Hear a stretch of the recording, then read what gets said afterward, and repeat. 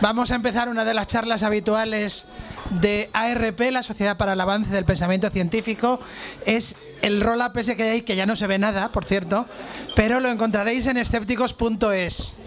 Eh, la charla yo creo que ya no necesita presentación, visto la de gente que ha venido. Creo que no entra nadie más, quedan dos minutos, pero eh, JM va a empezar ya. Así que sin más le cedo la palabra. Un aplauso para JM.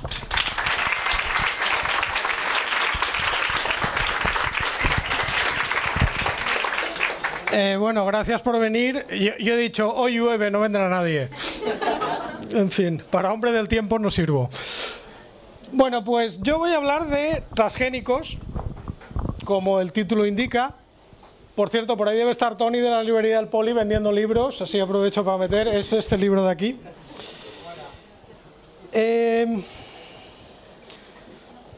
para reproducir este. ¿Dónde me habéis puesto la presentación?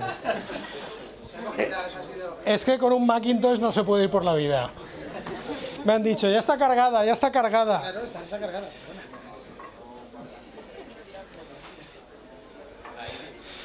Macintosh, haciendo complicado lo fácil.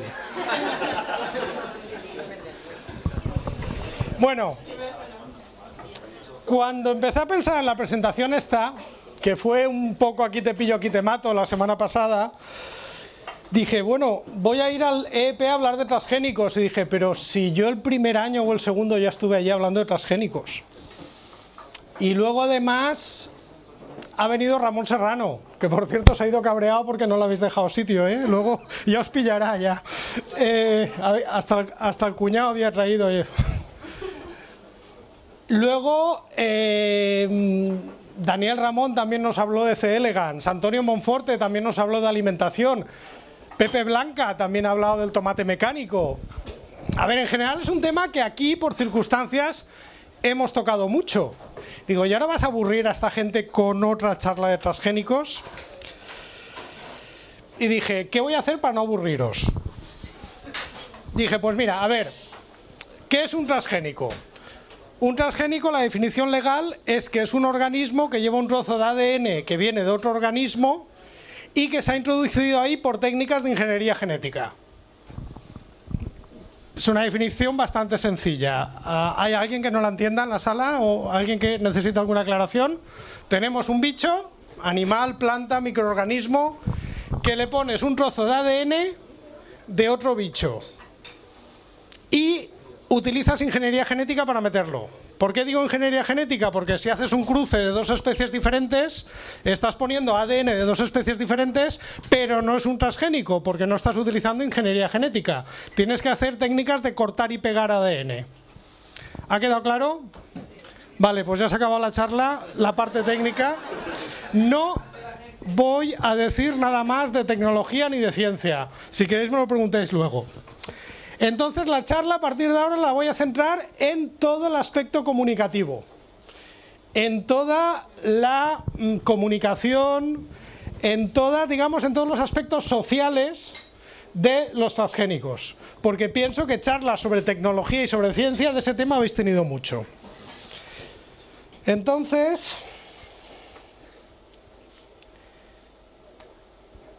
a ver, hablar de transgénicos en el puto Macintosh este me está saliendo una foto del Benzin, pero si hago para la derecha no me pasa las ahora, parece. A ver, cuando vas por el mundo y dices, ¿tú en qué trabajas? Científico. ¡Ostras, cómo mola! ¿Y qué haces? Plantas transgénicas. Se ha acabado. Se ha acabado. Ya no molas. Tú antes molabas, molabas cuando decías que eras científico, cuando dices lo de plantas transgénicas ya no molas. Viene a ser como lo de la sala de veteranos de guerras impopulares, es decir, que hay guerras que molan y guerras impopulares, y claro, la gente que ha sido veterana de la guerra, de la invasión de la isla de Granada, pues no mola. Entonces, si trabajas con transgénicos, no mola. ¿Y, cómo se ha llegado? ¿Cómo se ha llegado a este punto? Pues vamos a ver. Vivimos... Imagínate que eres una persona que mmm, oye por primera vez la palabra transgénico. ¿Qué hace? Pues lo que hace todo el mundo. teclearlo en Google. Que es lo que hace cualquier persona que escucha una palabra que no sabe lo que es. Antes la gente iba a un diccionario, ahora lo mete en Google. ¿Qué te sale? Si pones transgénicos en Google, lo primero que te sale es transgénicos Greenpeace España. Eh, te salen fotos de manzanas con jeringuillas y de mazorcas con jeringuillas. Te sale una entrada de la Wikipedia que mejor no la veáis. Asumid que soy una persona que tiene curiosidad por el tema. Si se mete, por ejemplo, en el primer enlace que le sale, que es lo que hace todo el mundo, porque todo lo que sale a partir de la tercera línea de Google no existe. Ya lo sabéis. Eso sí que es Internet profunda. Transgénicos, no a los transgénicos. O sea que la primera imagen que te llega de los transgénicos es que es algo muy malo. Y eso que todavía no te han explicado lo que es, pero da igual, no hace falta saberlo, es muy malo. Y esa es la percepción que le llega a alguien que no sepa nada del tema y que tenga curiosidad. Luego, si lees en la prensa, te encuentras noticias como esta, el trigo, ese veneno cotidiano que arruina nuestra salud, Económicamente no sería factible porque el trigo tradicional produce menos kilos por hectárea que el transgénico. Fíjate, si es malo el trigo transgénico, que mira cómo se ha quedado, que parece que sea una mazorca de maíz. Y además, además, lo tienen que coger dos submarinistas. Eh, es una cosa, pero que es muy malo. O eso, el gobierno creará una lista negra de parcelas con transgénicos. El que tenga una parcela con transgénicos, a la lista negra. O esta, aquí tenéis al príncipe Carlos con Prosineki y dice, Carlos culpa a los transgénicos de los suicidios en la India. Ostras. A ver, ¿cómo puede ser bueno? Si los en la India se suicidan por culpa de los transgénicos. Luego, curiosamente, lees la noticia y te encuentras que, aunque los suicidios se produjeron antes de la introducción de las cosechas transgénicas, pero da, igual, son tan malos que te suicidas por adelantado antes de que lleguen, porque sabes que son muy malos y no quieres que lleguen. Entonces, claro, o bueno, cuando no, de repente sale un estudio que mira, las ratas comen transgénicos y miran lo que les pasa. Y esta imagen sale en todos los medios de comunicación de todo el mundo, en el 2012. El famoso estudio de las ratas de Seralini. Estudio que, por cierto, vulnera todos los, todos los reglamentos de bienestar animal. Pero bueno, un pequeño detalle. Y si no, da igual, tenemos el WhatsApp. En WhatsApp te pueden llegar memes como si los transgénicos de Monsanto son seguros, ¿por qué en la cafetería de Monsanto solo sirven comida ecológica? Eh, son malos. Los de Monsanto realmente comen ecológico. Luego, yo cuando me llegó esto, llamé a uno que conozco en Monsanto y dijo, no nos llega el presupuesto para ecológico. Para empezar, en Monsanto en España no hay cafetería, se van al bar de enfrente, pero bueno, un pequeño detalle. Como veis, la opinión pública o por lo menos la información circulante mm, no parece que sea muy positiva, no, no, tranquiliza demasiado. Pero, mm, ¿por qué en este avance tecnológico, porque en el fondo no es más que una técnica que se utiliza y que tiene unas aplicaciones y que sirve para unas cosas. Puede servir para producir medicinas, puede servir para mejorar plantas. ¿Por qué hay una campaña que ha tenido mucho éxito en contra de esta tecnología y no hay campañas contra, no sé, contra la mutagénesis, que es una técnica que se utiliza para producir nuevas especies de plantas. O no hay campañas contra, no sé, los triples bypass que se hacen en el corazón. O no hay campañas, iba a decir contra el wifi, pero sí, contra el wifi hay algún iluminado que te pide la contraseña y luego dice que lo apagues para dormir. Pero, en fin, hay tecnologías que de repente tienen un rechazo social muy amplia y otras que vienen, se instalan y aquí no ha pasado nada. Bueno, eh, la campaña antitransgénicos es un ejemplo de una campaña que se hizo en determinado momento por determinadas circunstancias y triunfó. No se puede negar que es una campaña que ha calado. ¿Por qué se inicia la campaña de los transgénicos? Vale, mediados de los años 90 se juntan varios factores. Posiblemente si alguno de estos factores no se hubiera juntado, hoy no estaría aquí dando esta charla. El primero, campañas históricas como la campaña contra las nucleares que hicieron los grupos ecologistas o las campañas contra las ballenas se habían agotado. Se habían agotado porque ya llevaban mucho tiempo, la gente ya estaba concienciada se habían promulgado, habían países que habían firmado moratorias nucleares, se había creado santuarios de ballenas, etcétera, y eran campañas que no tenían ya mucho más recorrido. Las organizaciones ecologistas buscan alguna cosa nueva que motive a la gente. La tecnología se crea en Europa en una universidad y en Estados Unidos en otra universidad y además en una empresa que es Monsanto. Las universidades, como siempre, se ponen a investigar y a sacar papers, un hobby que tenemos cuando podemos, y si conseguimos financiación, eso es más complicado. Y Monsanto, que es una empresa, dice, aquí hay pasta, y se pone a diseñar productos para sacarlos al mercado y venderlos.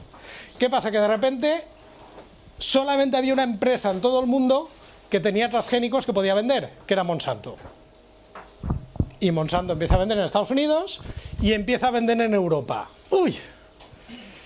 Viene Monsanto a Europa y en Europa estaban Novartis, Singenta, BASF, Bayer y dicen, contra esto no podemos competir.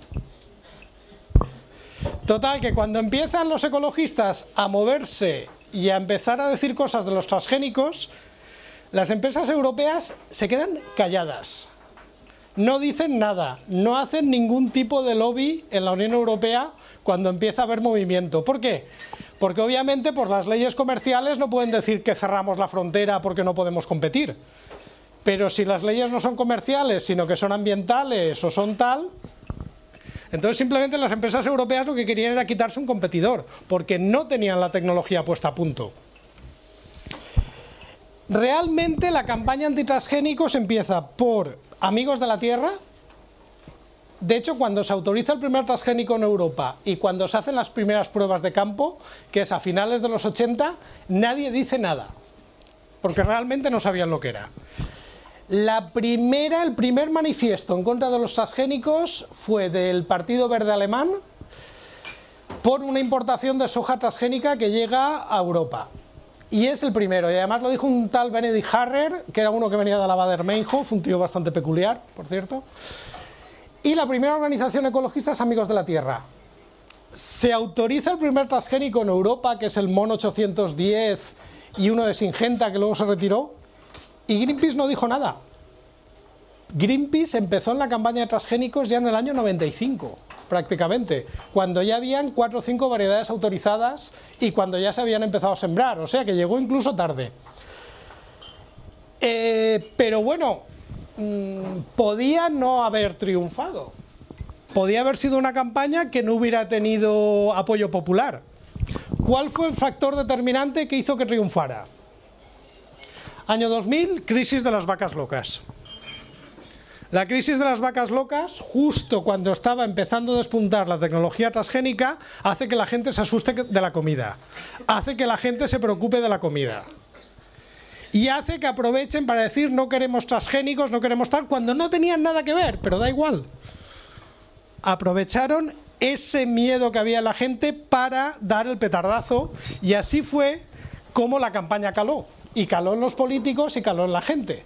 Si no hubiera pasado lo de las vacas locas, posiblemente la campaña no hubiera tenido éxito. A ver, tened en cuenta que no todas las campañas que han hecho los grupos ecologistas han triunfado. Eh, si tiras de meroteca es muy divertido. Esto es una noticia del 2000, 2006, 2007. El iPhone de Apple es tóxico.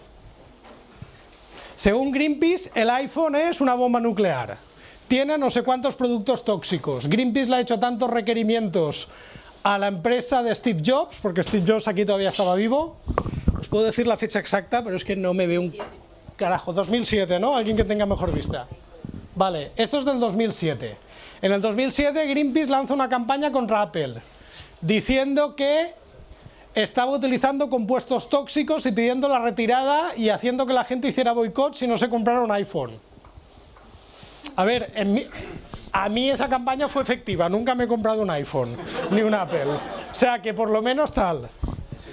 2007. Mm, ¿Alguna vez os ha llegado, os habéis enterado de esta campaña alguna vez?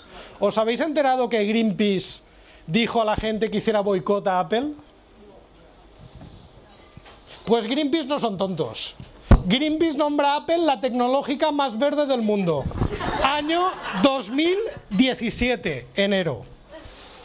Si no puedes con tu enemigo, únete con él. Cuando ven que la campaña no funciona, no pasa nada, quitan amigos, se cambia. Diez años después, según Greenpeace, Apple es la más molona y tal.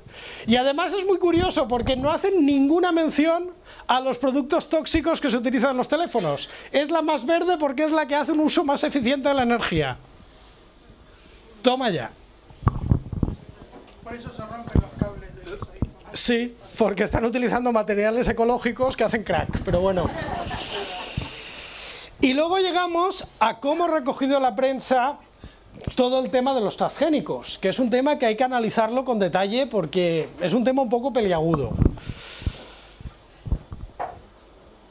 Vamos a poner otro ejemplo, el cambio climático. Eh, el único premio Nobel vivo de ciencias de habla hispana, jeje, ahora os jodo, ¿eh? Si os digo, ¿cuántos premios Nobel de ciencias vivos de habla hispana hay? Uno. Lo sabíais todos, ¿verdad? Y seguro que todos sabéis quién es. Venga, todos a la vez. Mario Molina, el mexicano fue el que descubrió las reacciones químicas que destrozan la capa de ozono. Fue premio Nobel a finales de los 80, principios de los 90. Bueno, Mario Molina actualmente eh, se dedica, además de venir a los premios Jaime I, como todos los premios Nobel de más de 80 años, se dedica a eh, dar conferencias sobre el cambio climático. De hecho, es lógico, porque él es experto en física de la atmósfera y en química de la atmósfera. Y entonces, él siempre denuncia que en Estados Unidos, cuando le ponen en un debate público, siempre ponen a uno que está a favor y a uno que está en contra. Y la impresión que estás dando, el mensaje que estás dando es que es un debate porque es un 50-50. Claro, 50-50. Eh, si tú preguntas si la actividad humana es la causa del cambio climático, científicos especialistas en clima te dicen que sí el 97%. No parece que los expertos tengan un debate sobre eso. No parece que haya realmente un debate. Ya si preguntas a meteorólogos es un 64%. A geólogos que trabajan en petróleo el 47% y al público americano el 41%. Pero claro, si tú haces un debate científico y pones un debate a favor y, uno en contra, estás, estás diciendo que en la ciencia está así. No, la gente que entiende del tema tiene una opinión, que es esta. Aunque tú estás transmitiendo esto. Esto es otra encuesta que le preguntan a científicos especialistas y también sale parecido, el 98%. Digamos que es un tema que la gente que entiende del tema no tiene ningún debate, pero se da la impresión que sí que lo existe. Y entonces, ¿qué pasa cuando hay una noticia de transgénicos? La que sea, cualquiera. Por ejemplo, año 2013 se comercializa el primer salmón transgénico. Esto es como recoge la noticia del país. La noticia es que después de 13 años se autoriza y por fin va a haber carne transgénica para consumo comercializada. Y de hecho en Canadá mm, ya puedes comer salmón transgénico. Es una noticia y es algo que tienen que informar. Eh, ¿Qué hace el país? Pues por una parte llama a un experto en el tema, que es José Pío Beltrán, de aquí, del IBMCP, que es delegado del CSIC, y que él dice que, como otros científicos, no ve obstáculos de principio contra el uso de transgénicos para consumo humano, sino que es partidario de analizar caso por caso, que es como funciona la legislación, cada caso se autoriza independientemente. Eh, José Pío es experto en transgénicos, entre otras cosas, es presidente, es este de aquí, del bigote, es presidente de la EPSO, que es la Organización Europea de Sociedades Científicas que trabajan en plantas. Por lo tanto, conoce el tema. Pero en la misma noticia le preguntan a Luis Ferreirín, que es el encargado de transgénicos de Greenpeace. Y se pone a decir que se opone a la liberación de transgénicos, plantas o animales, porque estamos malgastando dinero en investigar con transgénicos y vamos, vamos sobradísimos. Y que la primera pregunta que deberíamos contestar es si los transgénicos son necesarios. O sea, no hace falta. Se lo digan a un diabético, pero bueno. A ver, ¿qué conocimiento del tema tiene Ferreirín para que un diario le entreviste como experto? Sí, exacto, esta es la experiencia que tiene, ¿no? Haber ido a campos experimentales a poner pancartas, haber ido... Y esto sale en la misma noticia. Claro, y el artículo acaba, ahora juzga el lector. ¿Son necesarios? A ver, a ver, a ver. Juzga el lector. ¿Tú la información que has dado es correcta? Porque has puesto de igual a igual a dos personas y uno lo que te ha dicho, muchas cosas no son ciertas. ¿Cómo puedes hacerte una opinión cuando una de las partes te ha contado unas bolas así de grandes? Y además tú como periodista estás transmitiendo esa información. Aquí, eh, ya, claro, así es fácil que cale una mala imagen o así es fácil que la gente nos haga una imagen correcta del tema. Imaginad, eh, bueno, eh, y esto se hace con mucha naturalidad. Siempre que hay una noticia de transgénicos, aquí tenéis, por ejemplo, una revista de opinión política como Estelva. Oye, poca coña, la exclusiva de la entrevista de Paco Camps se la dieron a Telva, ¿o es que no os acordáis? Después de dimitir, la única entrevista que dio Paco Camps fue con Telva. Salía hiperchante en la albufera. Bueno, otra revista como Telva, de opinión política, lo mismo, José Pío Beltrán, Luis Ferreirim, los mismos protagonistas. O sea que tú para dar una noticia científica tienes que llamar a uno que habla a favor y otro que habla en contra. ¿Eso es como funciona el periodismo? No sé, mmm, imaginad. Arsuaga, descubrimiento del Homo antecesor en Atapuerca. El periodista llama a un antievolucionista para que cuando Arsuaga dice que ha encontrado una mandíbula intacta de una nueva especie de homo diga, oiga, no, pero esto eh, no es cierto, porque la Biblia dice claramente que fuimos creados. Y bueno, la evolución es solo una teoría. el diseño inteligente indica que hay estructuras que no han podido evolucionar, como dijo Darwin no lo hacen. Yo cuando veo que le preguntan a Arsuaga, Arsuaga contesta y ahí se ha acabado. Pero en cambio, cuando es una noticia de transgénicos, te tienen que poner al lado a un tío que diga que todo está mal. ¿A qué se debe esta diferencia de criterio? ¿Por qué en un tema sí y en otro no? Claro, eso hace, así es fácil que cale un mensaje. Así es fácil dar una imagen negativa. Si siempre que te entrevistan tienes que tener al tío al lado, es como ir con, con un peso. En cambio, Oye, que hay mucha gente que no cree en la evolución. Hay doctrinas religiosas que como dogma prohíben la enseñanza de la evolución. Pero cuando hay alguna noticia de evolución nunca les preguntan a ellos. Pero en cambio, cuando hay una noticia de transgénicos, siempre preguntan a los antitransgénicos. Y además, a ver, eh, a mí me sabe mal casi por los periodistas, porque les meten unas bolas de aquí te espero. Mira, eh, este año es el 25 aniversario del IBMCP, el, el instituto donde trabajamos, y a mí me ha tocado escribir un capítulo sobre la presencia del IBMCP en los medios de comunicación. Y entonces he estado intentando recopilar las noticias de prensa más antiguas donde se mencionaba. Bueno, la primera noticia en el mundo donde se habla del IBMCP es de diciembre del 97 y viene, realmente es muy curioso porque no es una noticia del IBMCP, es una noticia que dice que en el IBIA se había creado la primera naranja transgénica del mundo. Que de hecho la primera naranja transgénica se creó aquí en Valencia, en el IBIA.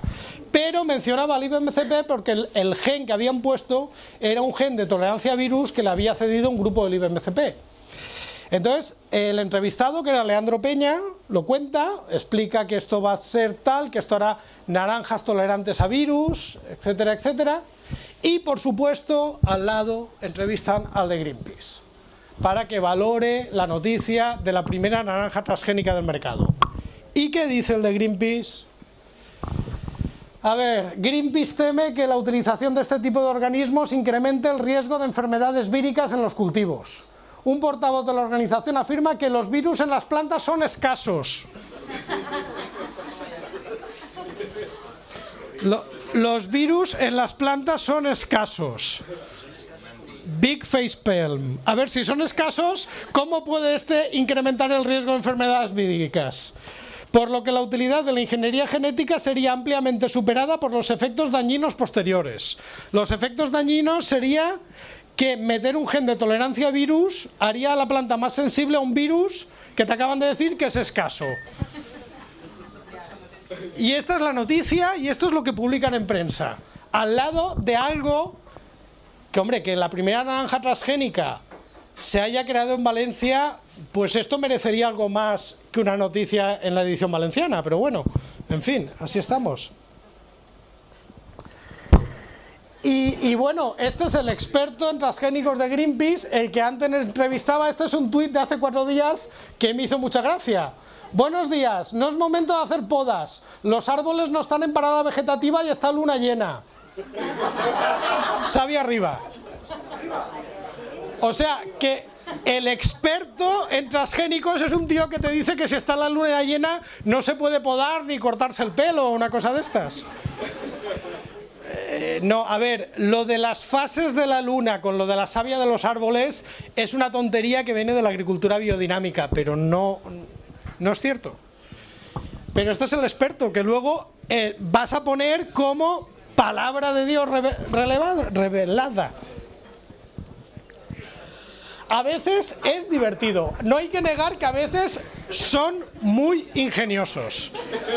A veces a veces te ríes. Te ríes. Esto es una noticia real que podéis encontrar a día de hoy todavía en Internet. Aparece un pez mutante junto a la central nuclear de Garoña. Año 2002, Ecologistas en Acción da una rueda de prensa diciendo que unos biólogos alemanes han encontrado un pez mutante con tres ojos que lo van a publicar en Science y que es la prueba definitiva que las nucleares son malas, que las peces tienen tres ojos. Y además, eh, Miguel Soto también explicó que las hortalizas que se cultivan en las localidades cercanas a esta central nuclear son de un tamaño superior al habitual, porque se riegan con agua que tiene isótopos radioactivos. Hosti, pues aquí querrían todos pelearse por el agua esa. Se hacen las hortalizas más grandes. Bueno, esto es una rueda de prensa del 27 de septiembre del año 2002. Tres días después, Ecologistas mentirosos. El grupo Ecologistas en Acción, que anunció el pasado un pez con grandes alteraciones genéticas, implicaron a la revista Science, era todo, todo, todo mentira. Ni existían los biólogos alemanes, ni existía el pez, ni iban a publicar el artículo en Science absolutamente todo se tuvo que desmentir tres días después. Miguel Soto, que fue el que se inventó todo esto, eh, sigue siendo miembro de Ecologistas en Acción y portavoz y de vez en cuando todavía sigue saliendo. A ver, mm, si van con este plan, eh, ¿qué puedes esperarte? Y luego está el tema que siempre dicen que es que la gente no quiere transgénicos. Aquí veis, ya te lo dicen, no queremos transgénicos. Hombre, y te lo dice uno disfrazado de vaca. Si se disfraza de vaca, tiene que ser verdad. A ver, nadie se disfraza de vaca para decirte una cosa que sea mentira. A ver, cuando uno se disfraza de vaca por la vida es para Y aquí tienes a otro disfrazado de cerdo, por si te queda alguna duda. Digo yo que esto será verdad, que no queremos transgénicos. Aquí tenéis a un portavoz de Equo, una gran cantidad de... Bueno, esto viene porque en la marcha por la ciencia, eh, los de Equo, cinco eran, eh, tenían una pancarta de todos a favor de la ciencia. Y entonces, claro, la gente por Twitter empezó, claro, ellos empezaron a tuitear y la gente, oye, pero el tema de los nucleares, el tema de los transgénicos, tal. Y lo que contesta este, que es el portavoz de ciencia o algo así de Equo, una gran cantidad de científicos forman parte de EQUO, entre otras cosas para defender la dignidad de su trabajo. Me parece genial. Lo que no está reñido con estar contra las bombas atómicas, la basura nuclear y los transgénicos, como el 99% de la gente. Bueno, ya tenemos un dato científico. El 99% de la gente está en contra de los transgénicos.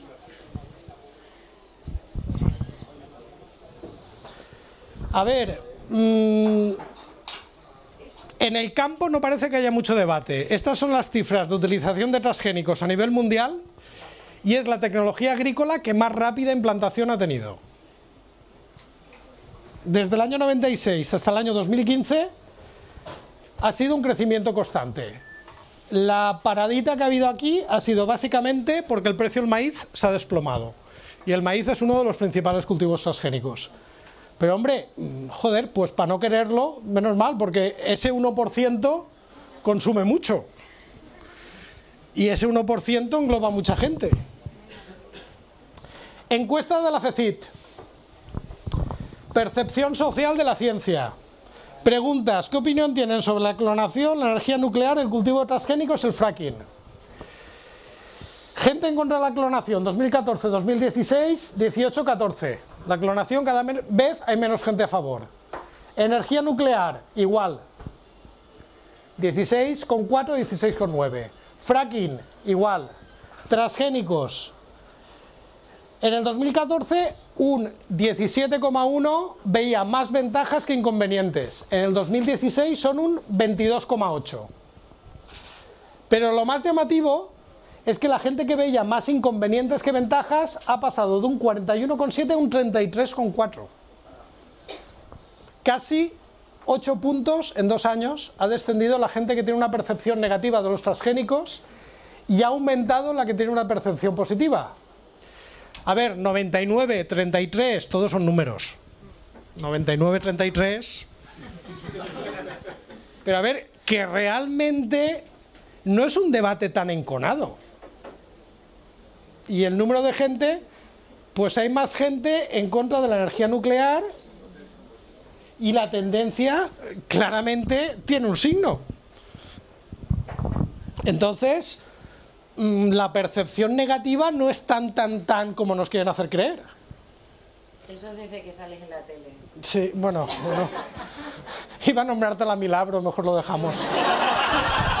Luego, luego está el tema de si ese 33% de la gente que según la encuesta de la FECIT dice que tienen más inconvenientes de ventajas, ¿realmente sabe lo que es un transgénico? ¿Realmente sabe para qué sirve? ¿Realmente renuncia a los transgénicos? Lo digo porque medicinas, jabones, líquidos de limpiar lentillas, billetes de euro, ropa de algodón. Aquí también higiene íntima, todo el material o el material sanitario de algodón. Los enzimas que se utilizan en la industria alimentaria, pectinasas, etcétera. También en la industria del vino, para aclarar el mosto, se pueden utilizar enzimas que también pueden ser transgénicos. Incluso la guía roja y verde de Greenpeace, para hacer análisis, utilizan enzimas que también son transgénicos, aunque esto no lo suelen poner. A ver, ¿alguien se cree que ese 33% de la gente es gente tan concienciada y tan informada que renuncia a esto? Es más, ¿alguien se cree que ese 33% de gente en contra sabe que está utilizando transgénicos? Mm. Entonces, quizás lo que parece un debate muy decantado y una opinión pública no lo sea tanto. Cuando alguien va al supermercado, busca si el producto lleva una etiqueta como esta que pone contiene aceite procedente de OGM o lecitina de soja modificada genéticamente, porque la ley en Europa obliga a etiquetar los transgénicos de uso alimentario. ¿La gente realmente en un supermercado va leyendo eso? ¿Lo creéis? Bueno, mira, un experimento muy sencillo. Aquí detrás hay un día, ¿vale? En ese día, que lo conozco de primera mano porque vivo cerca y suelo ir a comprar, hará cuatro años pusieron harina de maíz de una marca sudamericana, marca PAN. Una harina de maíz que está perfectamente etiquetada como contiene maíz OGM. Lleva cuatro años y si lleva cuatro años es porque la gente la compra y se sigue vendiendo. Dudo que nadie se haya dado cuenta y dudo que nadie que la ha comprado haya mirado o le haya importado. Mira el precio. Curiosamente pusieron una vez huevos de gallinas, que además lo ponía bien grande, no alimentadas con soja ni maíz OGM. Duraron dos meses porque valían una pasta.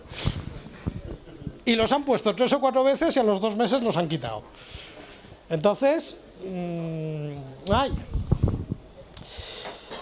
y entonces yo creo que la campaña antitransgénicos es una campaña que ya empieza a mostrar síntomas de agotamiento. Es que ya no hay por dónde tirar. Ya os dije que cuando los de ECO se van a la manifestación por la ciencia, la gente no les aplaude, empieza a decirles cosas de los transgénicos y de las nucleares. Luego, los argumentos ya dan un poco de pena. Este es un tweet, es que su Twitter es muy divertido, ¿qué quieres que diga? Yo soy fan. Me, río mucho, oye, cada uno tiene sus manías. Bueno, es más divertido meterte en LinkedIn y empezar a mirar perfiles de gente que trabaja en Greenpeace. Luego cogen un acojono cuando les llega la notificación que ha estado viendo su perfil.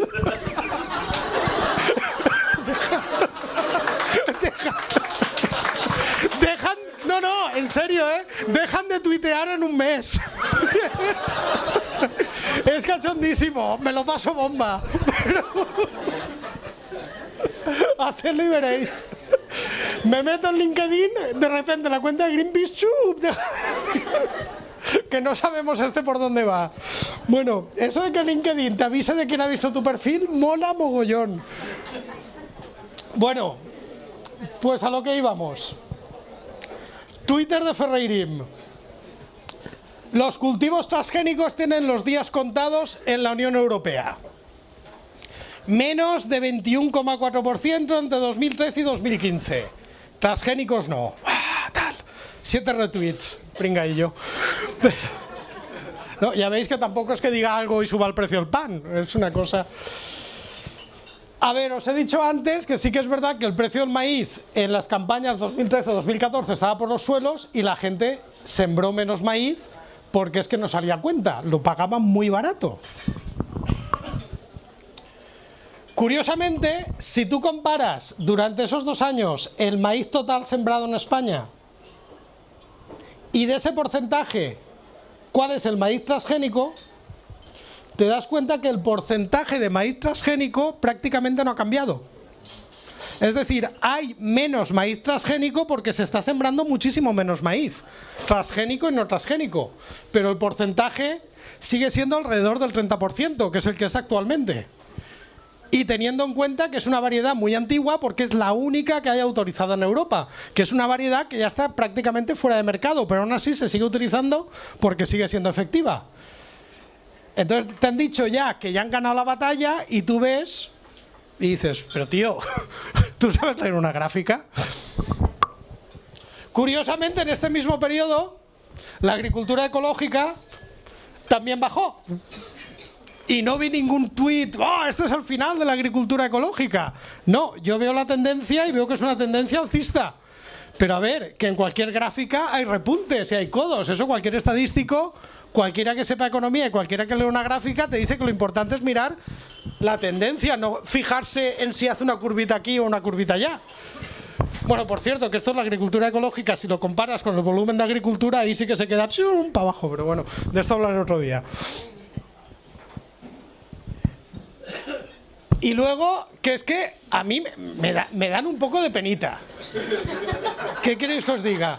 Ga- ganarse la vida siendo portavoz anti-OGM es muy duro, no lo hagáis. No, os lo recomiendo. Lo vais a pasar muy mal.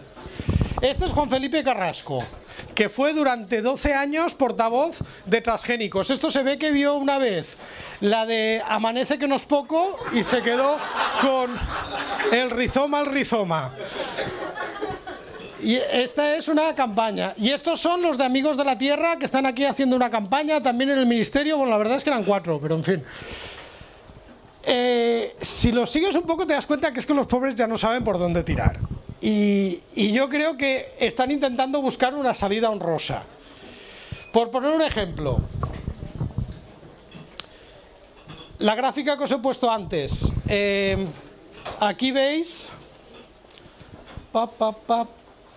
Vale, mirad por abajo que es el porcentaje de maíz BT. Es que me he equivocado, esta gráfica no es la que tenía que haber puesto, pero bueno. Eh, mm, imaginad que esto es la gráfica del maíz total transgénico, que es una gráfica bastante parecida a esta. Ah, vale, vale, vale. Vale, sí, fijaros en las líneas verdes. Las líneas verdes es el maíz transgénico que hay, ¿vale? Bueno, cuando Juan Felipe Carrasco empieza a trabajar como Greenpeace, como portavoz de la campaña antitransgénicos, recordad, lo único que se siembra transgénico en España es maíz. Él empieza aquí, en el 2001. Este era el maíz transgénico que se sembraba en España. Después de 11 años que le han estado pagando para hacer una campaña contra el cultivo transgénico en España, el maíz transgénico es unas 10 veces más. Pasa de 10.000 hectáreas a 120.000. Claro, y luego se quejó que le despidieron. ¿Cómo coño no te van a despedir, tío? Si tu único trabajo es decir que no a los transgénicos, cuando entras tú hay 10.000 y cuando te vas hay 120.000, algo habrás hecho mal. Luego, además, si te metes en su perfil de LinkedIn, da penita, porque, eh, bueno, luego ha tenido varias cosas. Ahora, al final, ha encontrado trabajo, ahora está haciendo campaña contra el glifosato por un lobby europeo. Está haciendo movilizaciones y tal contra el glifosato. De hecho, estuve en el tribunal de una de las pocas tesis que se ha hecho sobre comunicación de transgénicos que era una chica que estuvo trabajando en, en, Antama, que es la organización de comunicación, y luego hizo la tesis doctoral, mucho tiempo después de trabajar allí, y le hacía una entrevista. ¿Por qué? Porque durante el tiempo que ella había trabajado allí, digamos que su contrincante había sido él. Y entonces en la entrevista el tío estaba como muy tal, dice, es que después de 11 años de toda la experiencia y tal, sales al mercado laboral y nadie te contrata. Cuando dices, ¿tú qué sabes hacer? Yo pongo pancartas. Yo me disfrazo de árbol. Y eso, no hay mercado. No, no hay mercado. Y, y, decía, porque yo conseguí movilizar y tal. Entonces, yo no se lo recomiendo. Luego, esta es Blanca Ruibal, la de Amigos de la Tierra. Claro, tú, tú imagínate. Te dicen, tienes un debate con Blanca Ruibal, con Amigos de la Tierra. Uy, vale, no me suena, voy a buscar quién es y te la encuentras un día vestida de mazorca de maíz, otro día de cocinera, otro día de, de clavariesa. Dices, hosti, voy a debatir con Mortadelo. Esto. Aquí. O la pillo siempre de carnaval. Bueno, esta luego investigas un poco más y te enteras que se presentó a las elecciones en su pueblo, no salía ni de coña y como no la votaban y tal, al final acabó en Amigos de la Tierra. Y tú dices, hombre, ¿y, de qué vives? No, yo me he visto de mazorca y voy por la calle. Y, y me pagan. Luego, en, en Ecologistas en Acción tienen a Gabriela Vázquez, que es una que dice que es biotecnóloga, que al final yo un día se lo diré, digo, ¿qué? No te salió nada de lo tuyo, porque es que macho. Y he debatido alguna vez con ella y, y en fin, ¿qué queréis que os diga? Eh, luego dicen, no, es que eres muy duro, es, es que lo ridiculizas. Yo. A ver, ¿qué queréis? Una vestida de mazorca, solicito asilo agrícola en Francia, pues hombre, muy serio no es, ¿qué quieres que te diga? Y luego además, es que cada vez es más frecuente encontrar artículos como este. Mm, bueno, sabéis el año pasado todo lo que pasó, que los premios Nobel lanzaron una campaña, un comunicado, no fue una campaña, fue una carta que firmaron y ya está, diciendo que Greenpeace, la campaña en contra del arroz dorado, estaba produciendo que se muriera mucha gente, habían destrozado campos experimentales y que, hombre, que ya estaba bien, que no tenía ninguna lógica científica. Eh, eso yo os digo que a nivel reputacional y a nivel de imagen les hizo mucho daño. A pesar que luego va la prensa y le entrevistaron, que eso pasó, que lo vi yo por la tele, dice, oye, pero los Nobeles han dicho esto. Bueno, 110 premios Nobel, básicamente todos los que hay vivos, de ciencia, seguían por intereses económicos. Y tú dices, y de repente el periodista corta. Y digo, tío, yo, yo pienso el periodista que le está haciendo la entrevista. Acaban de denunciarte un lobby que tiene a sueldo a 110 premios Nobel. Vamos, eso no es ni Spectra, la que salía en las películas de James Bond. Alguien que tenga 110 premios Nobel a sueldo, vamos, a Monsanto no le llega ni de coña. Eso tiene que ser Monsanto con Donald Trump, con el Opus Dei, con los masones. Te acaban de denunciar, te acaban de decir que 110 premios Nobel están comprados y tú no le preguntas, ¿y quién se los ha comprado? ¿Tú no quieres ganar un Pulitzer? Porque es que si, si, denuncias eso, ganas un Pulitzer. De repente dicen, no, responden a intereses económicos. Ah, muy bien. Y tú dices, pero coño, ¿qué interés? ¿Quién les paga? Coño, dime algo. Cuéntame, porque yo me quedo con la duda. Pero no. El señor dice, responden y se queda tan ancho. Digo, este no quiere ganar un Pulitzer. Ahora, sí que es verdad que durante mucho tiempo, como los ecologistas caían también, no se les podía criticar, pero eso ya no pasa. Un ejemplo práctico, cuando Equo monta, hace el primer, el primer programa político, una cosa que aparecía en el punto 261 era potenciaremos la evolución, introducción y uso de técnicas y procedimientos de las llamadas medicinas alternativas y terapias naturales. Equo se integra en el Partido Verde Europeo y el Partido Europeo es oficialmente favorable a la homeopatía. Y esto salía en el primer programa. ¿Qué pasó? Que iba López Duralde y le preguntaban por esto. Que en Twitter les cayeron palos y más, porque en esta época Izquierda Unida fue cuando se declaró en contra de las terapias alternativas, por lo de Parque Delgado. Esto directamente, ¡chum! Polo. Y encima, si dices a alguien de Equo qué pasa con la homeopatía, se enfadan contigo y te dicen que ellos nunca han defendido las terapias alternativas. Se, han dado cuenta que ya no es como antes que podían decir lo que quisieran y todo el mundo los aplaudía. Ahora ya se han dado cuenta que vivimos en la época de Twitter, vivimos en la época de los blogs con comentarios. Y, y aquí de vez en cuando te dicen cosas que antes no te decían. De hecho, para encontrar esto tenéis que iros al caché de Google. Está borrado de todos los sitios oficiales de Equo. Incluso a veces tienes críticas de donde menos te lo esperas. Aquí es, esto es un artículo del diario, que es un medio de comunicación bastante afín a partidos como Equo, Podemos y tal, que de vez en cuando publica artículos muy críticos con la actitud antitransgénicos. También es verdad que a veces publica otros artículos que, en fin, pero bueno. Pero, a ver, es que hace años ni se publicaban. Es decir, que ya empieza a haber debate. No debate desde la ciencia, no debate desde partidos políticos lejanos, sino que empieza a haber un debate interno. Mm, hace cinco o seis años ese debate no existía. Yo creo que es una señal de que ellos mismos se dan cuenta que no pueden ir por ahí mucho tiempo.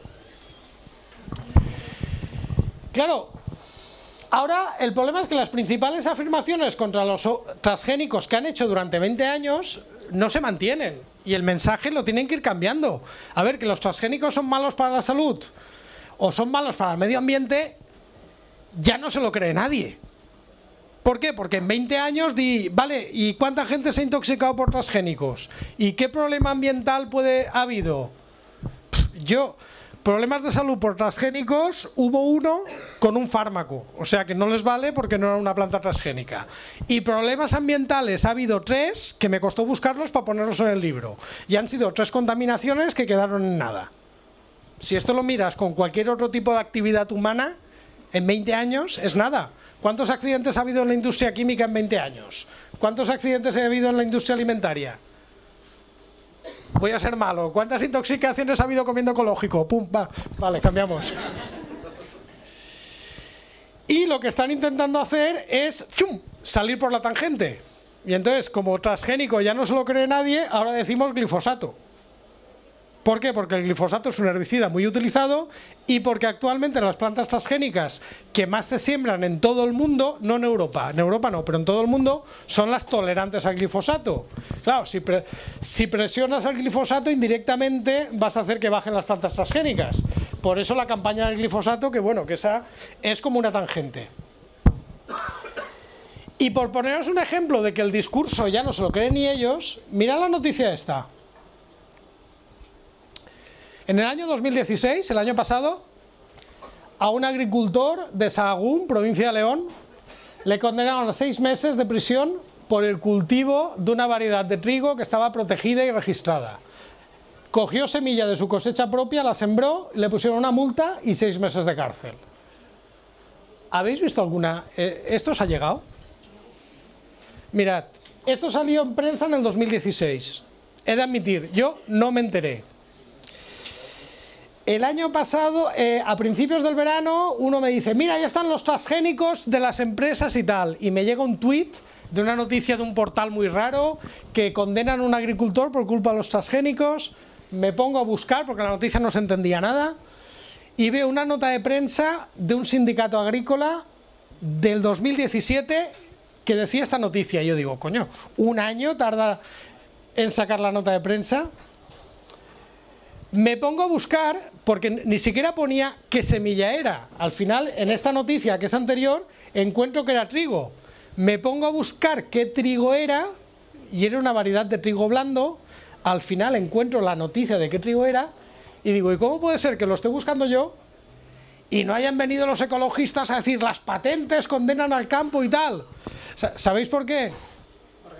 Porque no es transgénico.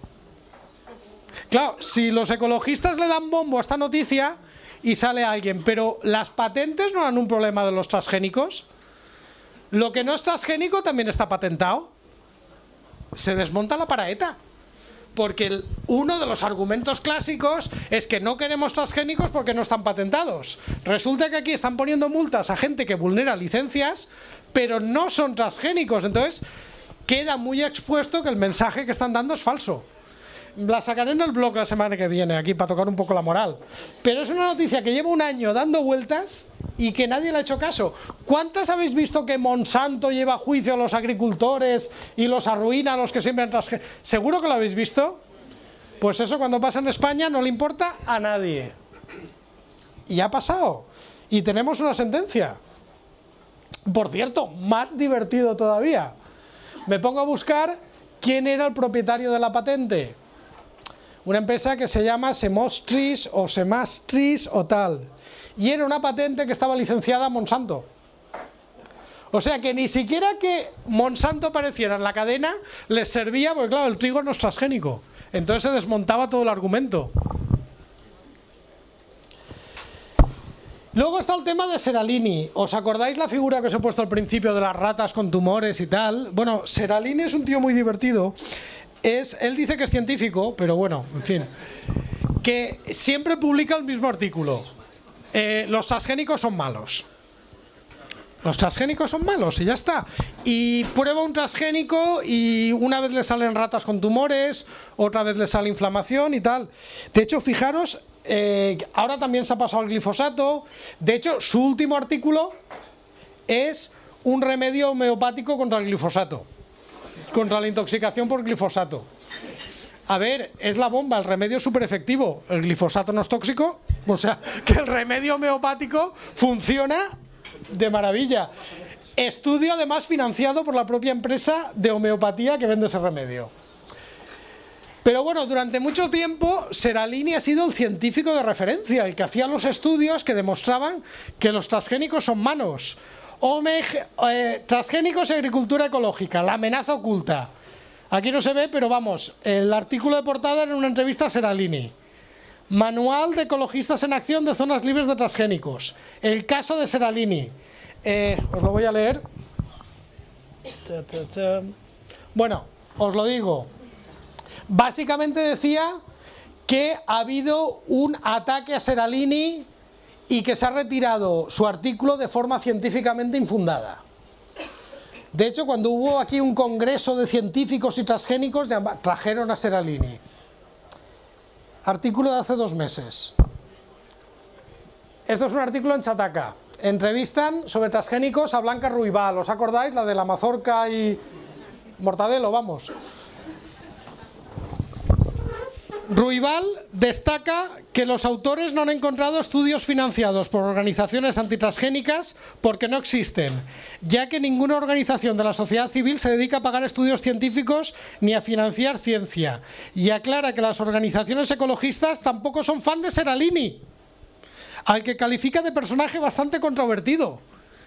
Está San Pedro, que negó tres veces a Jesús y le hicieron papa. O sea que resulta que la organización que estaba difundiendo sus estudios, la organización que le estaba invitando a dar conferencias, ahora dice que no, que, es muy controvertido y que no se lo creen. Y la noticia, que es una noticia muy antitransgénica, dice que Seralini ha sido un destacado biólogo molecular en su casa a la hora de comer, cuyos estudios en contra de los transgénicos también han estado en entredicho por su carácter sesgado y poco fiable. Hostis, si hasta los ecologistas ya no se creen al que ha sido su ídolo. Por cierto, ¿habéis leído lo que dice Blanca Ruibal? Que no existen estudios financiados por organizaciones antitransgénicas. A ver, leed conmigo. Artículo Schoenberg and Andrea, Environmental Science Europe, tal. Artículo que dice que los transgénicos son muy malos. Esto lo leéis, ¿verdad? Esto es la parte de financiación. Financiación, la cátedra Leopold Mayer, dos organizaciones ecologistas y Greenpeace. Sí que están financiando estudios. Curiosamente, todos los estudios que financia Greenpeace siempre saben que los transgénicos son malos. Tienen un ojo, yo no sé cómo lo hacen. Una cosa curiosa. El problema es que mirando otros casos y comparando, yo lo que creo que va a pasar es que esta campaña se agotará y aquí no ha pasado nada. Y esto va a ser lo que va a pasar. Porque es que eh, no es la primera vez que los ecologistas dicen donde dije digo, donde digo tal. Habéis visto lo que os he contado antes del iPhone de Apple, ¿no?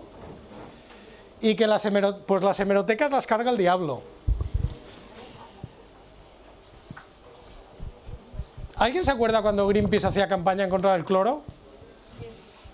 Esto fue hace tiempo, fue en los años, empezó en los 80 y duró hasta el año 2000, fue una década casi.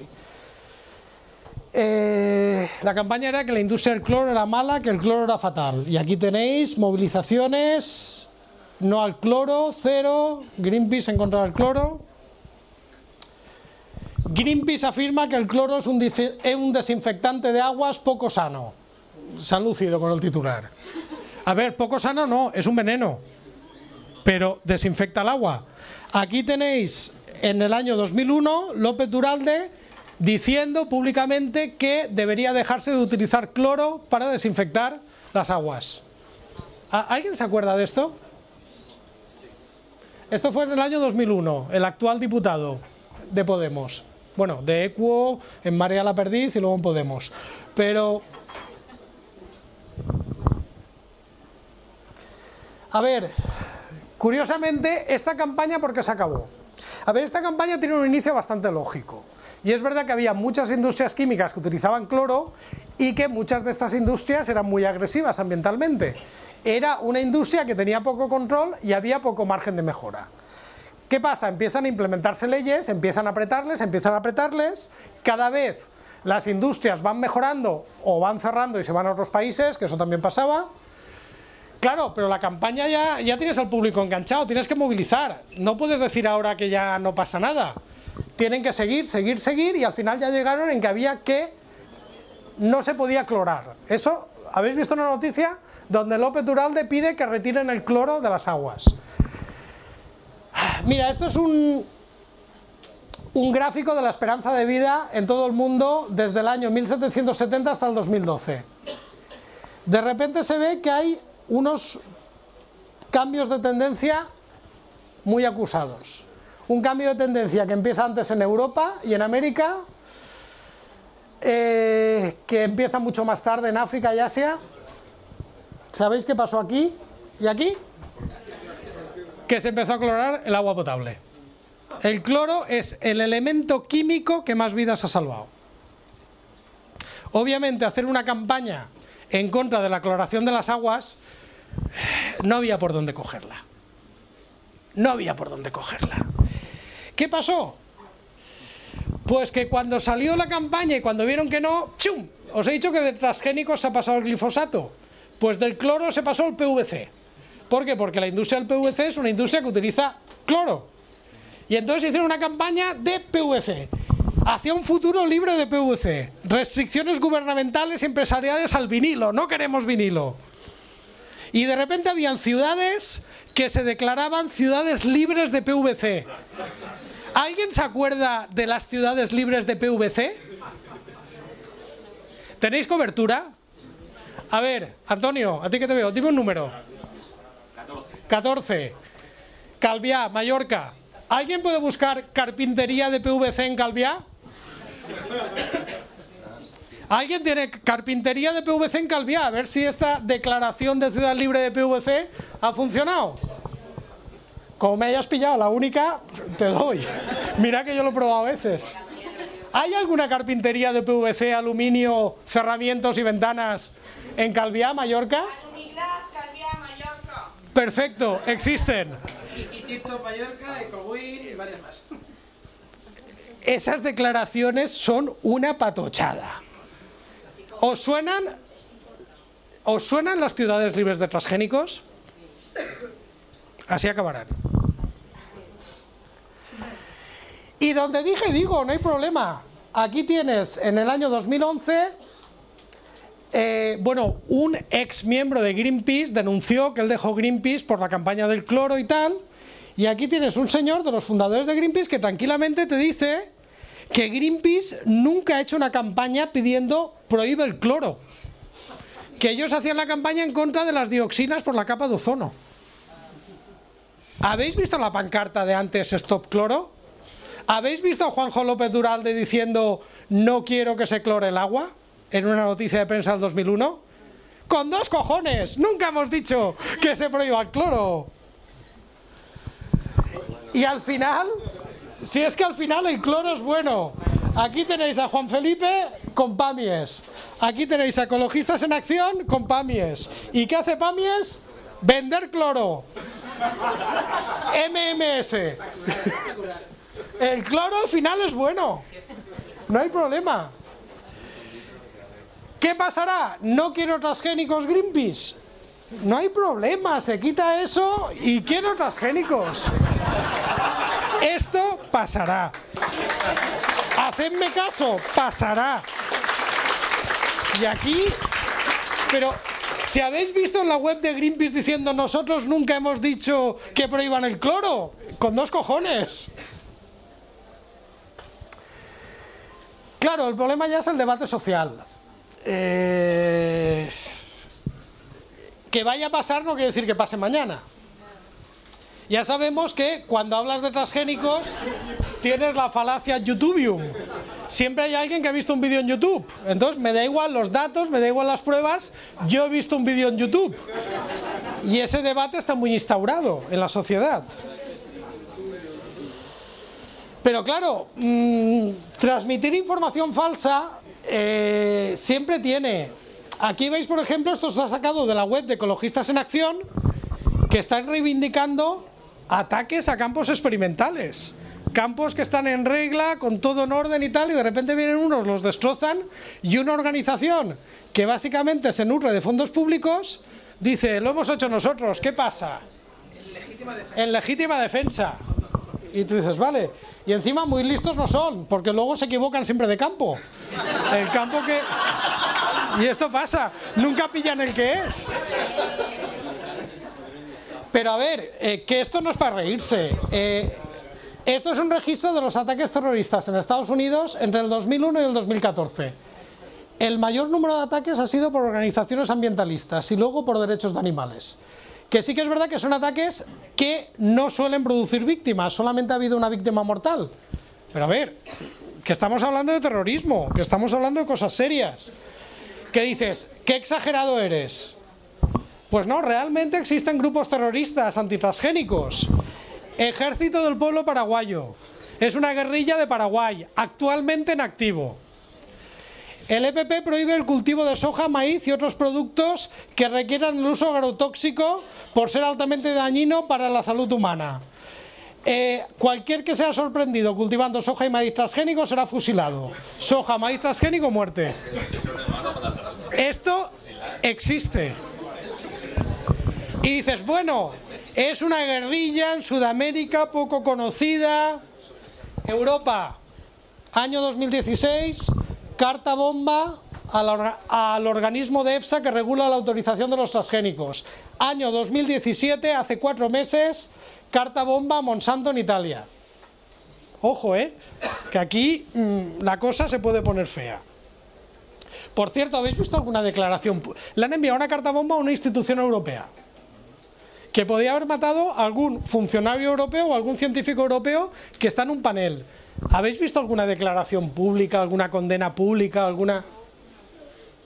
A mí me parece indignante. Y bueno, cuando ya estás discutiendo transgénicos y no saben qué decirte, si no tienes argumentos, encontrar el mensaje, mata al mensajero. Este soy yo cuando era joven, esta fue la primera entrevista que me hicieron, esto fue por Cabanillas, fue Mariana Bajas, ¿te acuerdas, Javier? Ah, ya, que te buscaba allí, tío, es que te has oído, vale, vale. Esta fue la primerísima entrevista y, y, entonces de repente la gente te dice, cada cual es libre de consumir lo que le plazca, pero no me vengas hablando de pijos ataviado con un polo rosa, mostrando un rolescopia, luciendo bronceado de solarium y exhibiendo en general un aspecto claramente gay, gafapastil, que aquí, salvo los gilipollas habituales, todo el mundo sabe... No, es normal, como tú dices algo de transgénico, si no les gusta, pues lo normal es ¿eh? insultarte. Y no pasa nada. Y esto es mi día a día, pero bueno, a ver, gente así te hace gracia. Ya cuando te dicen, eh, te falta plomo en el cerebro, una buena dosis de plomo, a ver cuánto dura este comentario, lo tuyo es patético, no dije charla, pero total, si hubiera dicho lo mismo en la carta que dejaste en persona, te pego un tiro en la cabeza. Yo recibo correos de estos, no todos los días, pero cada cierto tiempo. Es decir, que el tema, luego dices, es que dices que son terroristas. Hombre, si te envían un correo así, ¿qué les dices? ¿Qué majos? A ver, es lo que hay, ¿eh? Es lo que hay. Vale la pena. A ver, Feynman decía la divulga... bueno, decía la física, pero yo lo he cambiado. La divulgación científica es como el sexo. Seguro que sirve para algo, pero no es por eso por lo que lo hacemos. Y, bueno, ya si quieres pues de trascendente, trascendente, hombre, ahí tienes a Paul Newman, Camino a la perdición, cuando está hablando con Tom Hanks, abren los ojos, esta es la vida que llevamos, la que elegimos, y solo hay una cosa segura, ninguno veremos el cielo. No, no pega mucho, pero es que a mí me gusta, ¿qué quieres que os diga? Pues nada, gracias.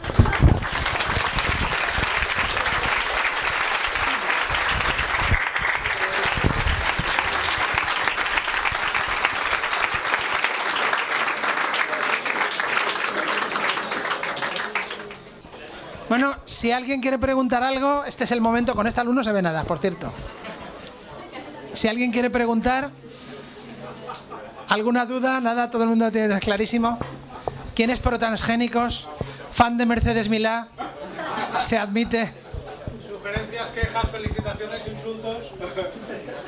Rápido, sí. Yo quería preguntar, es que siempre que sale el tema, todos los, Es que me dan la cara y no un carajo. Sí. Todos los compañeros que transgénicos, todos los amigos me hablan del vídeo de, de Mundo según Monsanto. ¿Puede comentar alguna cosa al respecto? Eh, sí, que no lo he visto. Eh, pero no lo he visto eh, porque creo que son 60, 70 minutos. Y si puedes estar jugando al Candy Crush, ¿para qué vas a verlo? Por eso no lo he visto, porque no he querido. Y te digo por qué.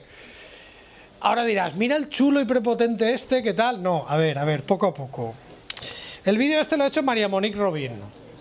¿vale? María Monique Robin es una periodista, comillas, comillas, comillas, comillas, comillas. Porque llamarle periodista es ser muy generoso. ¿Y por qué digo eso? Insisto, no he visto el vídeo. El primer trabajo que hizo María Monique Robin famoso fue un reportaje de eh, denunciar una red que secuestraba niños y les robaba las córneas para trasplantes. Eh, fue un trabajo que le dieron premios, que fue súper famoso y además para promocionarlo se paseó con un niño que había sido víctima de esa red, que era un niño de un barrio muy muy pobre de Buenos Aires y que tenía un evidente retraso mental. Cuando estaba dando la conferencia en no sé qué pueblo, unos médicos quisieron examinar al niño y dijeron, tiene las córneas, este niño está ciego por una infección y no fue tratado porque es de una zona muy pobre pero a este niño no le ha tocado nadie las córneas. La OMS se coscó y dijo, a ver, mm, si tú secuestras a un niño de un barrio pobre, y más el ejemplo lo tenían en el niño ese, que tenía una infección brutal porque no le habían dado un antibiótico, pues eso no se lo puedes trasplantar a nadie, porque posiblemente el niño ese o tendrá el SIDA, o tendrá hepatitis C, o tendrá una infección, y eso no sirve para un trasplante tiene que ser una córnea limpia, porque no le vas a poner una córnea a alguien y, contagiarle algo. Esa red es mentira. esa fue la primera, de ahí hacia arriba. Eh, uno de los otros documentales que tiene es lo paranormal ante la ciencia y que te dice que la telepatía existe y la telequinesis existe, vamos, viene a ser como un documental de Jiménez del Oso. Con esos antecedentes, pues no tengo ganas de ver el documental, lo siento. ¿Por qué? Porque, a ver, si fuera un documental que me dijera aspectos críticos de una periodista seria, lo vería. Pero de una persona que ya sé que es una mentirosa compulsiva, ¿para qué voy a perder el tiempo? Pues es lo que te puedo decir. Y entonces, a mí me, me lo han preguntado, ¿has visto el mundo según Monsanto? No. No me apetece. Porque ya sé de qué pie cogea la tía esta y miente más que habla. Eh, Podries concretar què diuen els antitransgènics, què fan concretament els antitransgènics, per què són roïns i quina és la demostració de que no són perjudicials? A ver, a ver, a ver, eh, el mensaje ha ido cambiando. Si tú coges lo que decían hace 10, 15 años, era eh, que son malos para la salud, que podían aumentar el riesgo de cáncer, pero siempre era muy etéreo y luego te decían que es que no tenemos estudios a largo plazo y no lo sabemos. Luego para el medio ambiente te decían que, claro, que podías dispersar genes extraños al medio ambiente y eso podía producir resistencias y malezas y tal, cosa que con los no transgénicos también puede pasar, pero no, es como lo de las semillas tal. El tema de salud y medio ambiente lo han ido cambiando. ¿Por qué? Porque ha pasado nada. Y entonces luego están con el tema de las empresas. Los transgénicos son malos porque están patentados y eso hace que está todo en muy pocas manos y van a controlar la alimentación mundial. Ese, digamos, es el argumento hoy por hoy. Porque el de la salud y tal ya se está diluyendo. A ver, este argumento tiene parte de razón. Mm, sí que es verdad que hay muchos transgénicos que están patentados. ¿Cuál es el problema que tiene este argumento? Que los no transgénicos también están patentados y también están por las mismas empresas que es lo del juicio que no han dicho nadie nada. A ver, eh, los y también olvido otra parte, los transgénicos que no están patentados, los que se hacen en fondos públicos, como el arroz dorado. Y también olvida que a los 20 años la patente caduca y se liberaliza. Pero es lo que hay. Sobre el arroz dorado, ¿qué ha pasado? Porque parecía que había, hubo mucho optimismo al principio, pero luego parece que no está dando el resultado. ¿Qué ha ocurrido? Vale, ha ocurrido que ha dado muchísimos problemas. Eh, y te digo, problemas técnicos. Problemas técnicos porque, a ver, mm, el proyecto en sí, que es un proyecto que empieza hace 20 años, cuando la tecnología estaba en pañales, con una planta como el arroz, que prácticamente a nivel transgénico. De hecho, a día de hoy todavía no hay ningún arroz transgénico autorizado. En China tienen varios, pero de extranjis. Eh, lo sé porque han llegado a frontera y los han detectado y no están declarados, pero en el análisis ha salido. Entonces, mm, Era una tecnología muy complicada, con a nivel técnico era difícil, a nivel administrativo, como utilizaban un montón de patentes, era difícil. Pero bueno, lo fueron haciendo, al final encontraron los dos genes clave y las primeras versiones del arroz dorado, el problema que tenían es que producían muy poco arroz, muy poco vitamina A, perdón. Poca vitamina A eh, es que el cálculo era que necesitabas un kilo de arroz o tal para tener, o sea, que no servía para nada. Y de hecho así fue cuando los tal dijeron, no, es que esto es un fracaso y tal. Obviamente, no es que sea un fracaso, es que es un prototipo y, y es una tecnología muy nueva. Durante mucho tiempo estuvieron tratando de aumentar la cantidad y ahora ya hay cantidades apreciables. Eh, claro, el problema es que mm, el arroz es una variedad, es un cultivo bastante pijigotero y está adaptado a cada zona.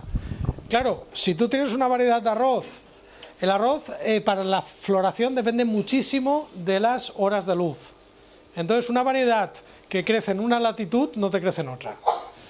Entonces, ahora lo que están haciendo es, ya tienen variedades que están acumulando mucho vitamina A, lo que están haciendo es cruzarlas con variedades locales para poder cultivarlas in situ, porque puede ser que la variedad que hayan utilizado en el sitio donde quieran sembrarla no vaya cara al aire. Ese es un problema que están teniendo ahora. Otro problema, el arroz eh, prácticamente no tiene aceite, no tiene nada de grasa, cero. Y la vitamina A es liposoluble. Entonces, eh, la asimilación de esa vitamina A está siendo muy pobre. Y entonces ahora están intentando ver si encuentran variedades enriquecidas en lípidos para tal. Claro, también es verdad que desde el punto de vista comunicativo no, nos ha venido muy bien. Y te digo por qué. Eh, ¿Alguien sabe que existe una cosa que se llama el maíz dorado? Sí, pero no es una cosa que haya salido en prensa. El maíz dorado se ha hecho en la Universidad de Lleida y funciona de maravilla. Primera, porque el maíz no es tan pejigotero como el arroz y no es tan dependiente de las horas de luz y una variedad de aquí te la puedes llevar a otra parte del mundo. Y segunda, porque el maíz tiene un 5% de aceite. Y entonces tú enriqueces el maíz con vitamina A y automáticamente la asimilas. El maíz dorado está ya en pruebas en animales y en humanos. Y se ha hecho aquí en Lleida y no se ha enterado nadie. La banana dorada está comercializada y es exactamente la misma tecnología. Los mismos genes los han puesto en otras plantas y han funcionado muy bien. Y eso está ya saliendo al mercado y no se ha enterado nadie. El arroz, el problema es que técnicamente ha sido infernal, más todo el problema político y que fueron los primeros en todo. Entonces, claro, abrir camino, esto es como lo del hermano pequeño. Tú cuando eres el hermano mayor y quieres salir, no hay manera de que te dejen salir por la noche. Pero el día que sales te dices, llévate a tu hermano y yo, no me jodas, que me lo ocurra yo. Yo es que soy hermano mayor y sé lo que es. Pues con el arroz dorado ha pasado un poco eso. También es verdad que eh, otras en arroz sí que han funcionado. Este año se publicó el arroz púrpura, que se llama la más. Ese es rico en antocianos. Entonces, mm, justamente ese está costando mucho, pero lo bueno es que detrás de ese vienen un montón que van como un tiro. Dime.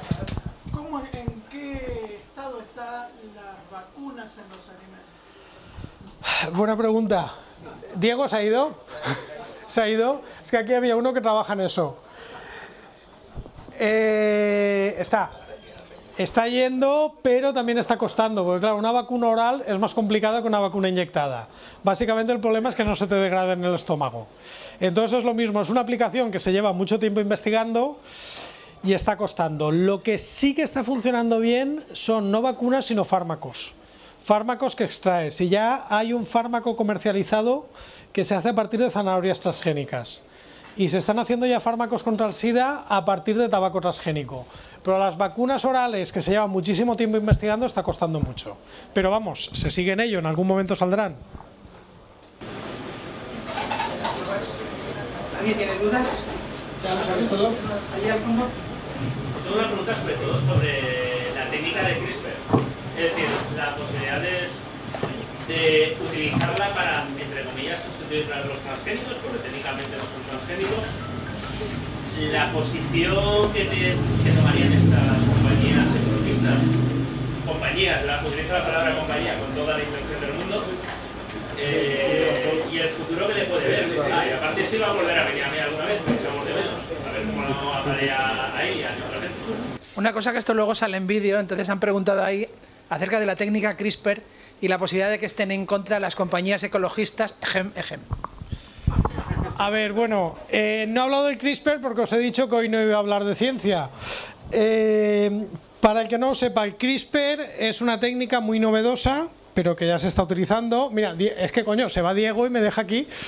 Eh, básicamente consiste en mm, modificar el propio ADN del organismo, pero si en un transgénico tú es como si hicieras un copy-paste, aquí es como si editaras el ADN. Por lo tanto, ahí no le has puesto ningún ADN que venga de fuera, simplemente has hecho un cambio en el propio ADN del organismo. Desde el punto de vista legal, no es un transgénico. ¿Por qué? Porque no llega ADN de fuera. Y desde el punto de vista técnico, hoy por hoy, a día de hoy, no tenemos ninguna capacidad para saber si una planta o un animal le han hecho CRISPR o no le han hecho CRISPR. No hay una marca que pueda rastrear, cosa que en los transgénicos tú solamente tenías que buscar el gen de fuera, pum, y te salía en un análisis muy fácil. Entonces el CRISPR tiene dos problemas. Primera, legalmente no es un transgénico y segunda, no se puede analizar.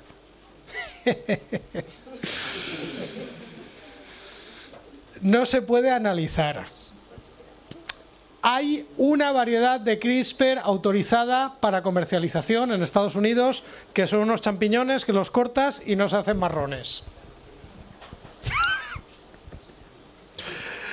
A ver, si yo hago una variedad de lo que sea por CRISPR y la registro y digo que no he hecho CRISPR, nadie hoy por hoy, a día de hoy, me puede demostrar que le estoy mintiendo. Vosotros mismos. A ver, si cuando los transgénicos se podían detectar y hacíamos análisis, venía arroz de China con transgénicos y no había ningún transgénico autorizado en el mercado. ¿Vosotros pensáis que los chinos se están comiendo la cabeza?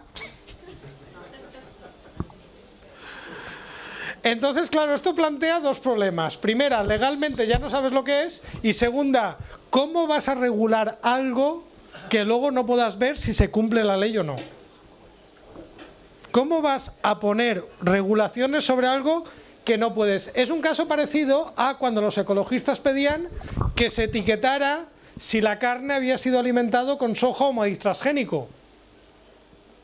¿Cómo puedes hacer un análisis en la carne para saber si ha comido soja o maíz transgénico?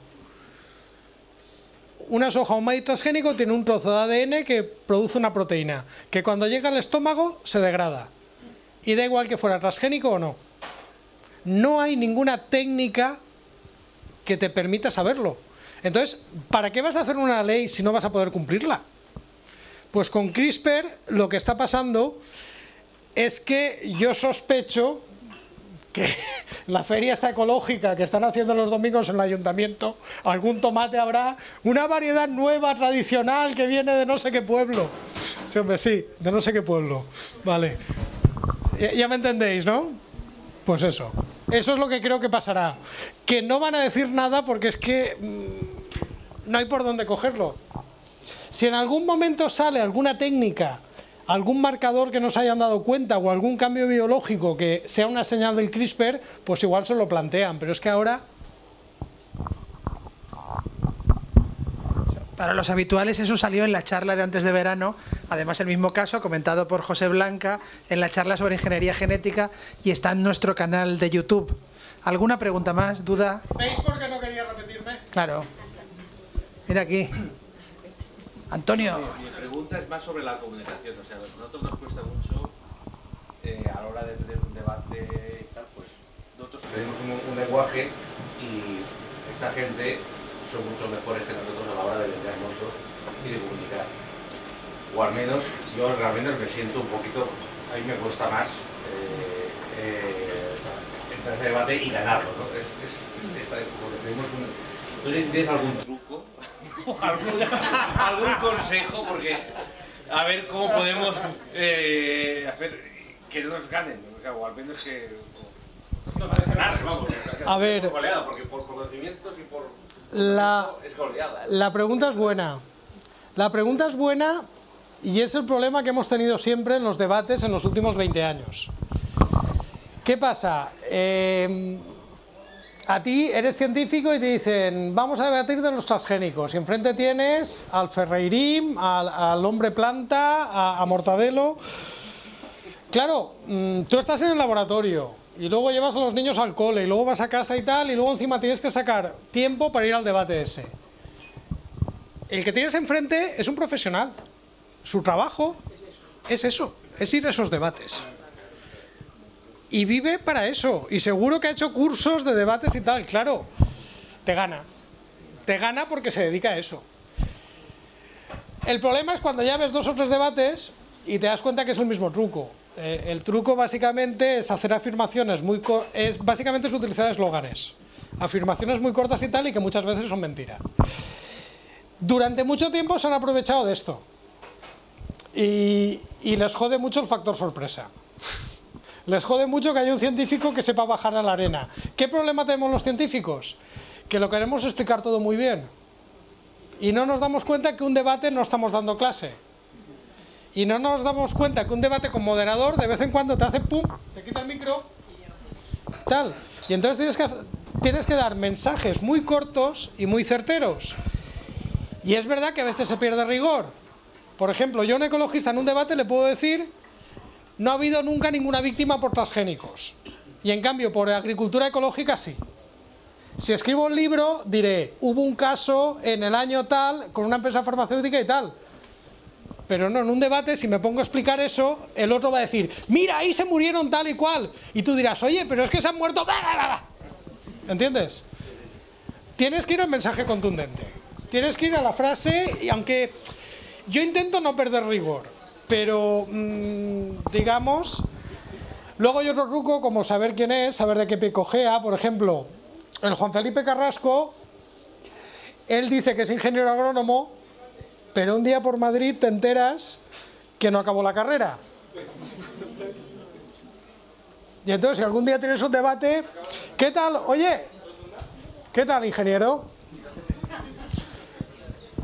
Si en el debate le llamas ingeniero, ya se pone nervioso y no va cara al aire.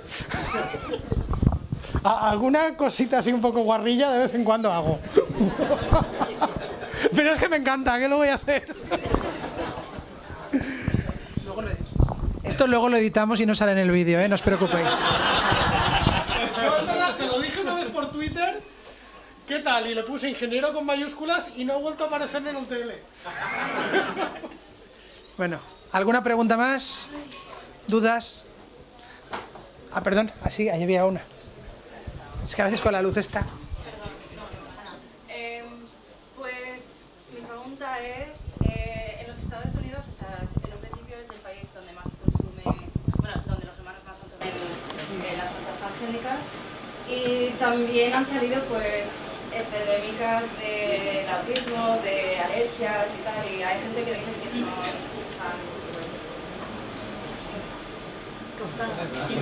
por el, por el uno por el otro, o lo que sea, no sé si puedes comentar sobre eso. ¿Por qué transgénico? No, a ver, en Estados Unidos hay autorizadas unas 200 variedades diferentes de transgénicos. Eh, tendría que ser un caso, un transgénico que pudiera dar un problema y producir autismo, pero ¿se ha relacionado con algún transgénico en particular? No, han dicho que simplemente es el, el acto de, pues, de trasplantar, no sé, el ADN de, de una planta que no hay ningún dato serio. Para empezar, el autismo no es una enfermedad. Son 200 diferentes. Es lo que se llama trastornos del espectro autista. Y dentro del cajón de desastre del autismo tienes enfermedades que no tienen nada que ver una con otra. Pasa como con el cáncer. El cáncer son enfermedades que no tienen nada que ver unas con otras. Es como, como un archivo muy grande. Y los transgénicos pasa lo mismo. O sea que me estás hablando de dos grupos muy grandes y muy heterogéneos. Hacer una afirmación así, ya de entrada, chirría. Eh, básicamente te puedo decir que no, que es leyenda urbana. De hecho, es muy divertido porque hay una gráfica que correlaciona el aumento de autismo con el aumento de consumo de verduras orgánicas. Y es una correlación clavada. Que obviamente tampoco tiene ninguna razón. Obviamente es tan falsa como, como eso. El autismo, ojalá supiéramos cuál es el origen, pero todavía no lo sabemos.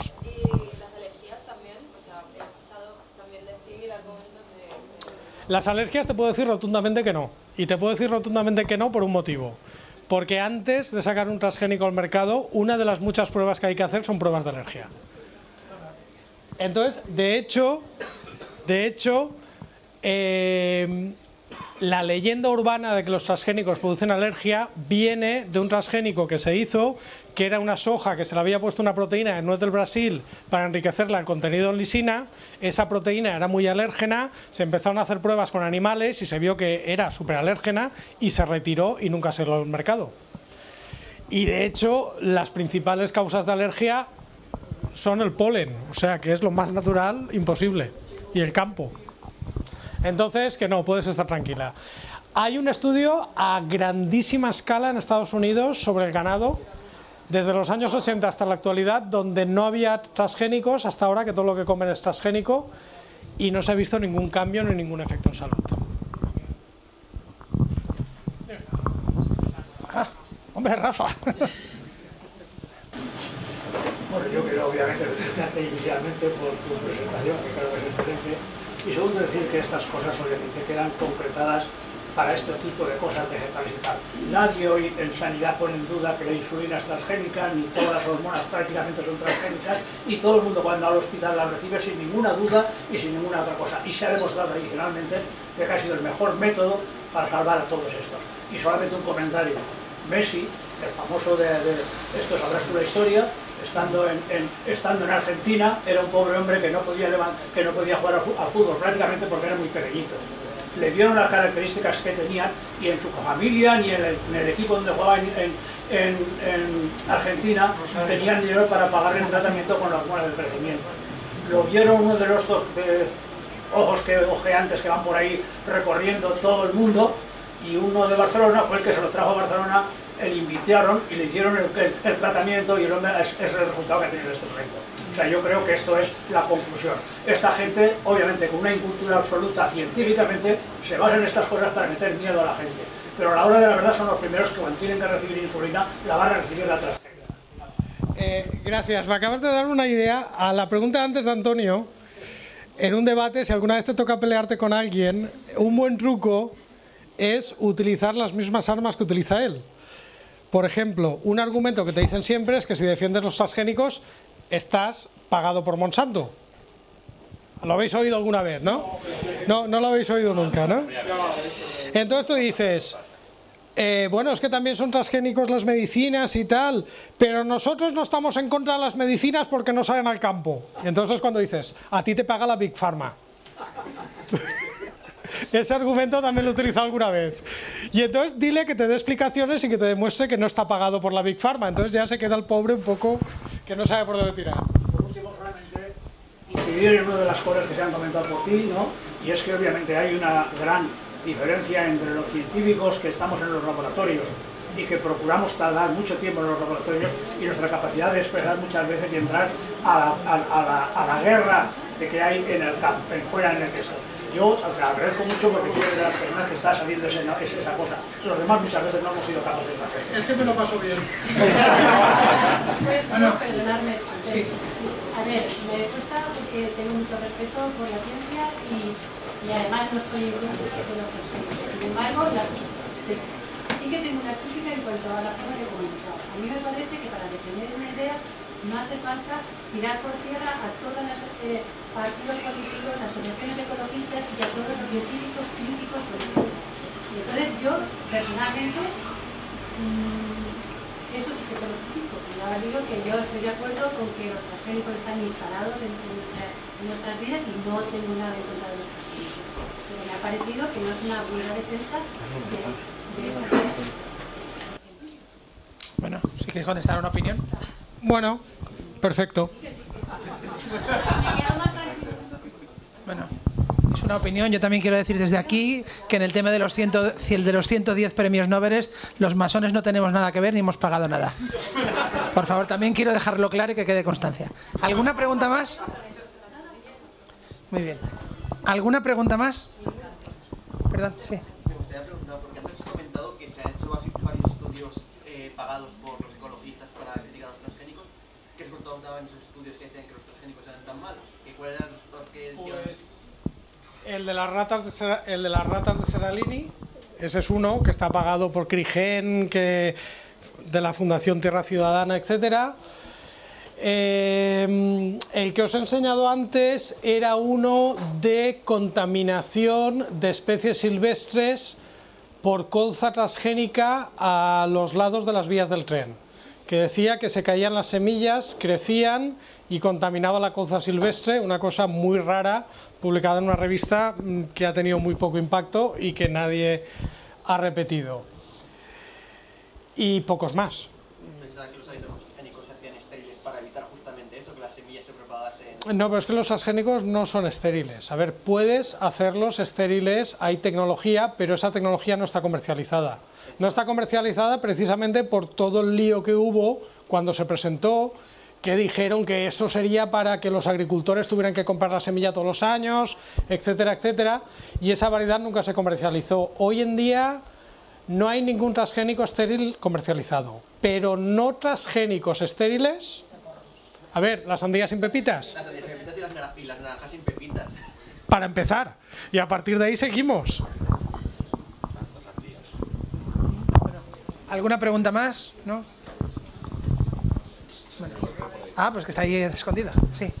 No, yo quería decir que no, no es que se ataca a todas las organizaciones ecologistas, a todos los partidos, se ataca exactamente a las personas de esas instituciones ecologistas que puntualmente, una por una, mienten alevosamente y queda perfectamente demostrado que mienten. No es una crítica global ni generalizada hacia todos, sino específicamente a cada uno en cada mentira que han dicho. Una opinión en el otro sentido. Si no hay ninguna pregunta más, eh, seguiremos anunciando en nuestro canal habitual. Muchas gracias a todos por venir y un aplauso muy fuerte para JM Mulet. Gracias.